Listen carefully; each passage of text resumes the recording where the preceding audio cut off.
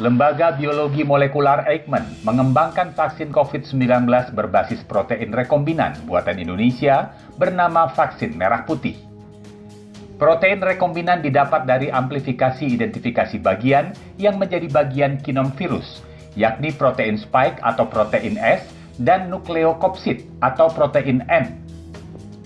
Saat ini lembaga biologi molekular Eijkman sudah melewati fase praklinis untuk mengkloning protein tersebut sebagai langkah uji coba pada hewan terkait rangsang imun.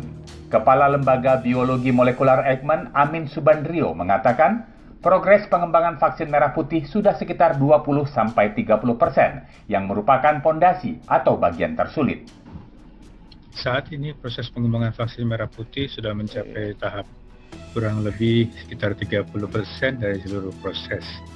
Dan itu terdiri dari uh, Pertama, amplifikasi genom virus uh, yang menyandi bagian protein spike atau protein S dan juga protein nukleokapsid atau protein N.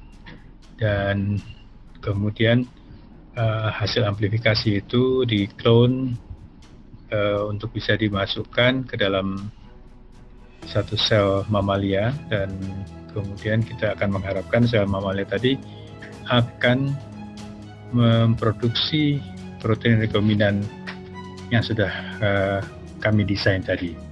Vaksin yang diberi nama merah putih ini merupakan kerjasama antara Eijkman dengan Bio Farma. Targetnya vaksin ini sudah bisa diserahkan ke Bio Farma berupa bibit vaksin pada bulan Maret tahun 2021 dan siap diedarkan secara massal pada akhir 2021.